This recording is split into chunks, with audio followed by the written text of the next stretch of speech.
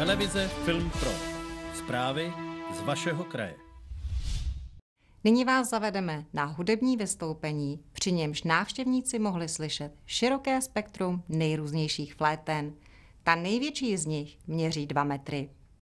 V Janovicích nad Úhlavou se uskutečnil koncert barokní prolínání. Do koncertního sálku Staré radnice jsme si pozvali hudební seskupení Muzika ad Gaudium, které nás přineslo do časů baroka.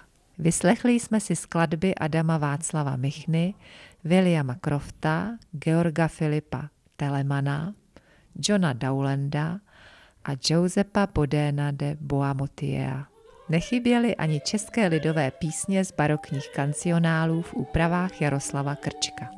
Skvělí muzikanti a hudebníci, kteří nás do doby barokní pozvali, byli Andrea Frídová zpěv, Dominika Zikmundová zobcové flétny a zpěv, Alena Tichá čembalo, Jaromír Tichý zobcové flétny, Václav Kapusta fagot a zobcové flétny.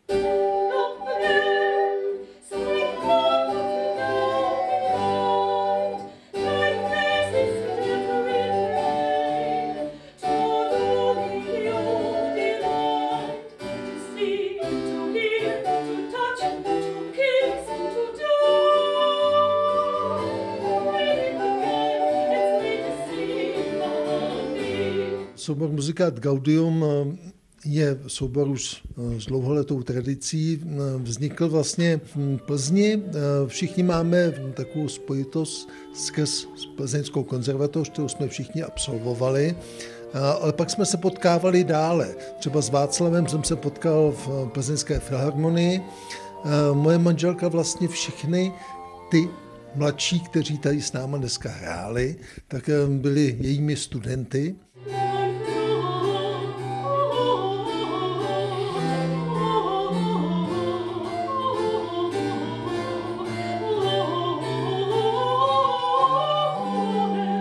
To dneska barokní prolínání, takže prolínání barokní muziky ze všech možných koutů Evropy a prolínání je vlastně i ten život, který nás k muzice přivedl.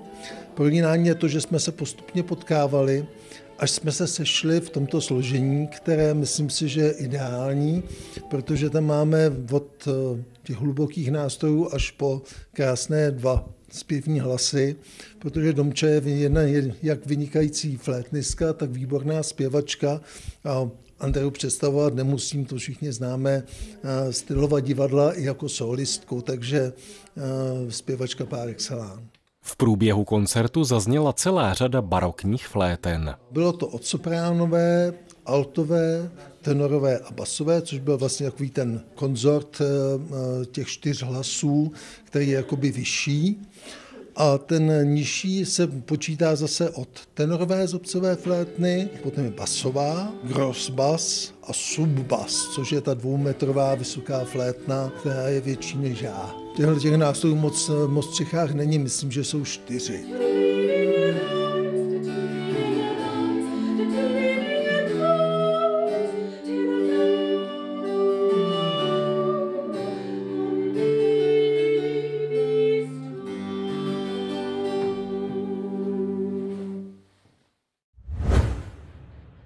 Regionální televize Film Pro. Zprávy od Plzně jihu po Šumavu. Děkujeme, že je s námi spolu vytváříte.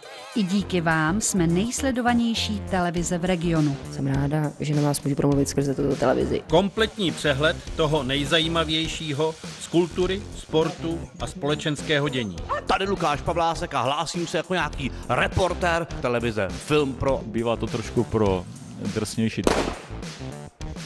pardon, teď jsme jenom zkoušeli startovací pistoli. Pak se snažíme hlavně o to, aby, aby ten divák eh, se bavil a usmíval. To je pro nás největší odměna. Jsme na kabelových a digitálních televizích.